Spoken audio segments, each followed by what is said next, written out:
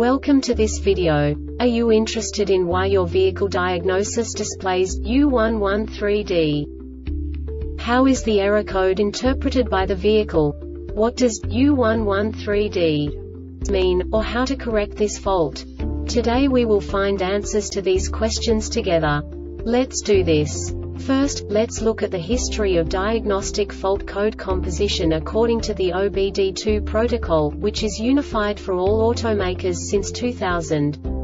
We divide the electric system of automobile into the four basic units. Powertrain, body, chassis, network. This distribution is defined in the first character code. If the second character is expressed as zero, it is a standardized error.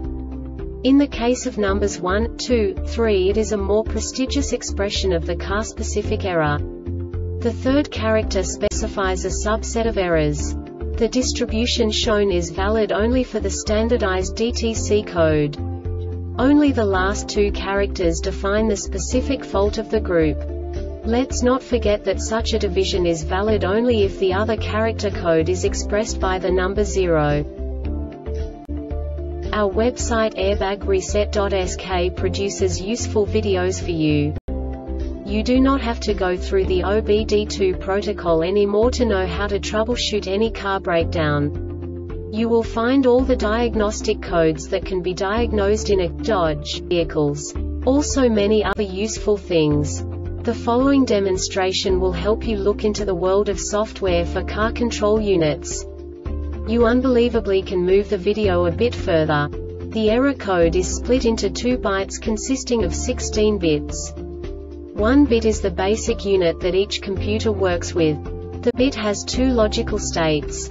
0, low level, 1, high level. By combining the first two bits, the basic character of the error code is expressed. The next two bits again determine the second character. The last beat styles of the first byte define the third character of the code. The second byte is composed of a combination of 8 bits. The first 4 bits determine the fourth character of the code. And the combination of the last 4 bits defines the fifth character. A single byte conceals 256 possible combinations. We now know in what way the diagnostic tool translates the received information into a more comprehensible format. The number itself does not make sense to us if we cannot assign information about it to what it actually expresses.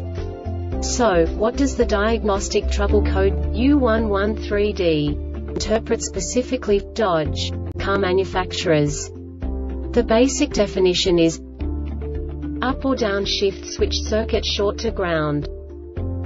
And now this is a short description of this DTC code.